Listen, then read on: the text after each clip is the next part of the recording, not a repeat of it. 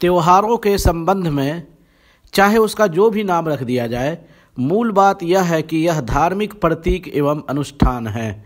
यह उन प्रतीकों तथा विशेषताओं में से एक है, जो प्रत्येक धर्म और उसके अनुयायियों को दूसरों से अलग करती हैं। मुतवातिर शर्ዒ नसूस अर्थात बहुतेरी धार्मिक तर्कों ने पूरे वर्ष में मुसलमानों के त्योहारों को केवल दो ईदों तक सीमित किया है, जो ईद फित्र एवं ईद अजहा हैं, तथा सप्ताह का ईद, जुमा का दिन है। अल्लाह के रसूल सल्लल्लाहु अलैहि वसल्लम ने फरमाया, प्रत्येक समुदाय के लिए त्यौहार का दिन होता है, तथा यह हमारे त्यौहार का दिन है। इसके अलावा अन्य उत्सव, जैसे क्रिसमस एवं नववर्ष का उत्सव इत्यादि तो यह यहूदी एवं नसारा का त्यौहार है। किसी मुसलमान के लिए इसको महत्व देना अथवा इसे मनाना जायज़ नहीं है। न ही इसकी बधाई देना अथवा इसमें भाग लेना जायज़ है।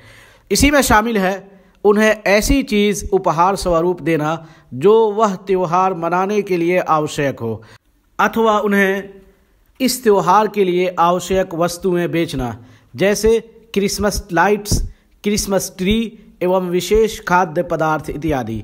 यह दो कारणों से वर्जित है।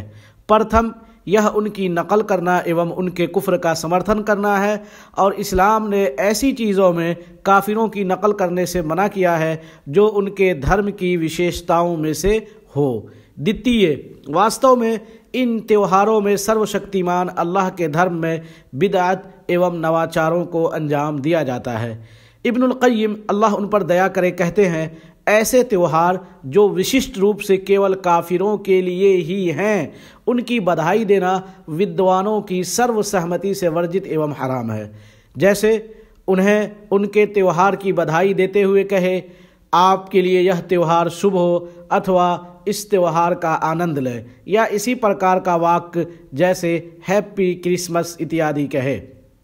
ऐसा कहना यदि कुफ्र नहीं भी है तो हराम अर्थात वर्जित तो अवश्य है। और इसका अर्थ उसके संग दुर्व्यवहार करना अथवा उन्हें आतंकित करना कदापि नहीं है, क्योंकि उनके त्यौहार में भाग लेने से इनकार करना आतंकवाद नहीं है। यह सिर्फ़ एक संकेत है, जो दर्शाता है कि एक मुसलमान उन चीज़ों से दूर रहता है, जो उसकी आस्था, धर्म एवं प्रतीकों के विरुद्ध हो।